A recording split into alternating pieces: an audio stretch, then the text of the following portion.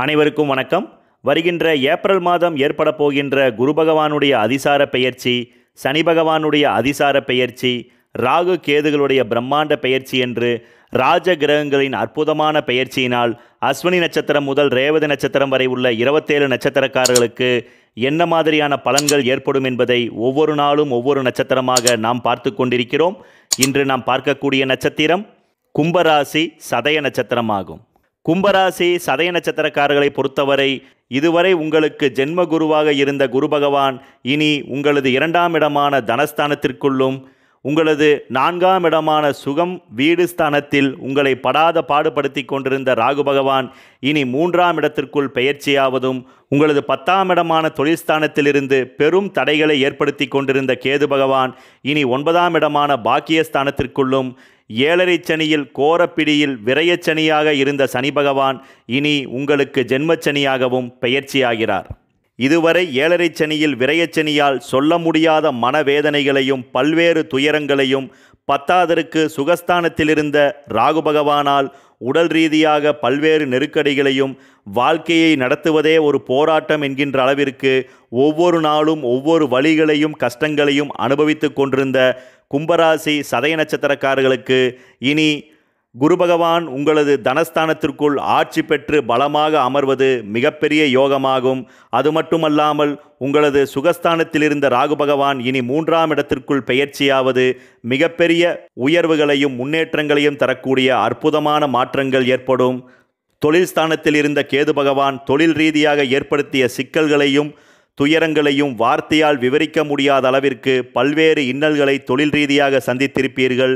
எவ்வளவு கௌரவமாக உயர்ந்த தொழிலில் இருந்தவர்கள் கூட தாழ்ந்த நிலைக்கு சென்றிருக்க வேண்டிய கசப்பான சந்தர்ப்பங்களும் வாழ்க்கையில் தொழில் ரீதியாக பல்வேறு சிரமங்களையும் நெருக்கடிகளையும் பலர் நெடுநாட்களாக செய்து கொண்டிருந்த தொழிலை விட வேண்டிய நிர்பந்தங்களும் என்று இது போன்ற சிக்கல்களை ஏற்படுத்திய கேது பகவான் இனி உங்களது தொழில் ஸ்தானத்தில் விட்டு விலகுவது மிகப்பெரிய சிறப்பாகும்.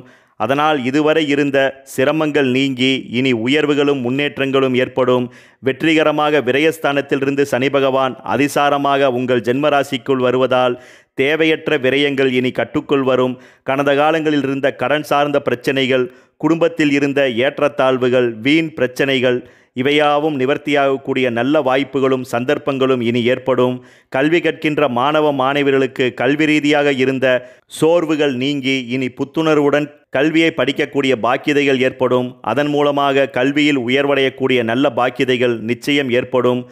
பட்டப்படிப்பு படிக்கின்ற மாணவ மாணவியர்களுக்கு கல்வி ரீதியாக இருந்த மந்தப்போக்குகள் விலகி கல்வியில் ஆர்வமும் ஊக்கமும் அதிகரிக்கும். பெற்றோர் மற்றும் ஆசிரியருடைய பாராட்டுதல் மூலமாக உயர்வுகளை பெறக்கூடிய நல்ல பாக்கியதைகள் நிச்சயம் ஏற்படும் என்றே குறிப்பிடலாம்.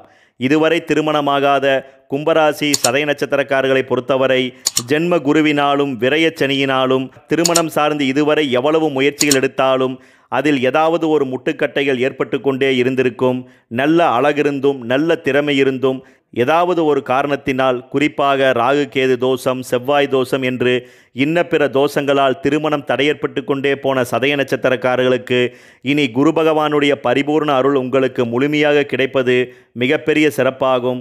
அதனால் இதுவரை இருந்த திருமணம் சார்ந்த தடைக்கற்கள் நீங்கி இனி உங்களுக்கு திருமணம் அமையக்கூடிய பாக்கியதைகள் நிச்சயம் ஏற்படும் என்று குறிப்பிடலாம். தனியார் தொழில் மற்றும் உத்தியோகத்தில் பணிபுரிகின்ற சதய நட்சத்திரக்காரர்களை பொறுத்தவரை உங்களது பத்தாம் இடமான தொழில் ஸ்தானத்தில் இருந்த கேது பகவான் தொழில் ரீதியாக இக்கட்டுகளையும் நெருக்கடிகளையுமே அதிகமாக ஏற்படுத்தியிருப்பார்.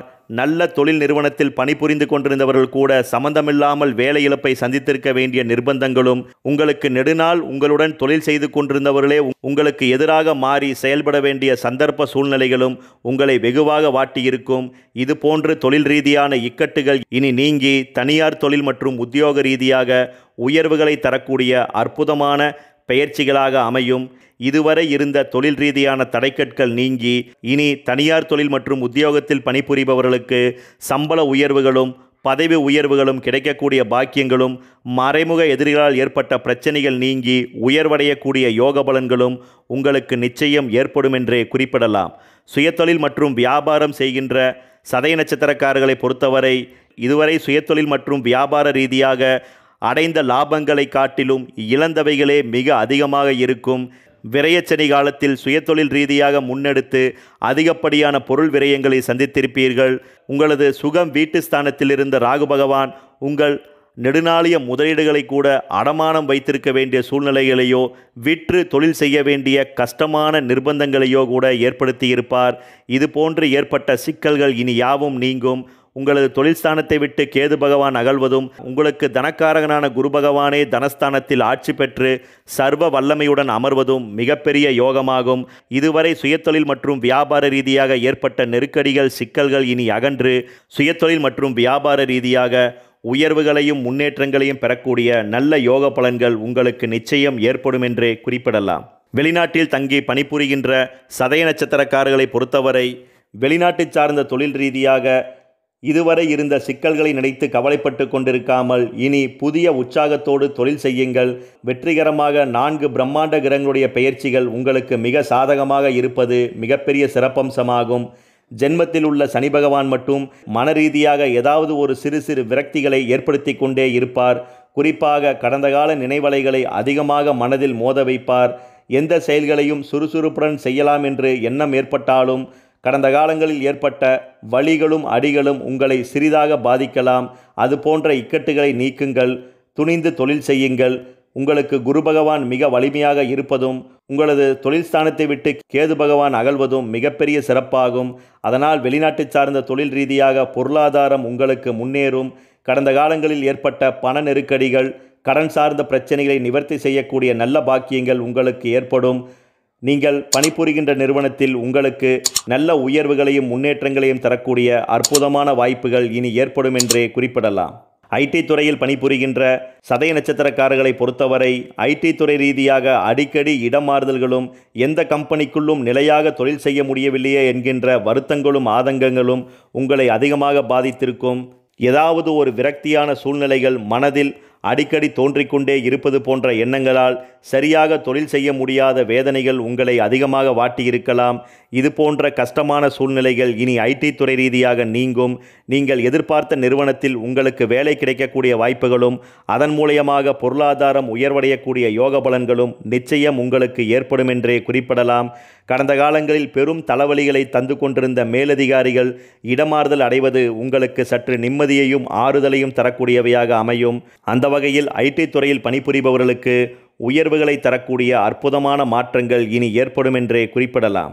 இதுவரை குழந்தை பேர் இல்லாத சதய நட்சத்திரக்காரர்களுக்கு வெகு விரைவில் ஜென்மகுரு விலகுவதும் விரயஸ்தானத்திலிருந்து சனி பகவான் பெயர்ச்சியாவதும் உங்களது சுகஸ்தானத்தை விட்டு ராகு பகவான் அகழ்வதும் மிகப்பெரிய சிறப்பாகும்.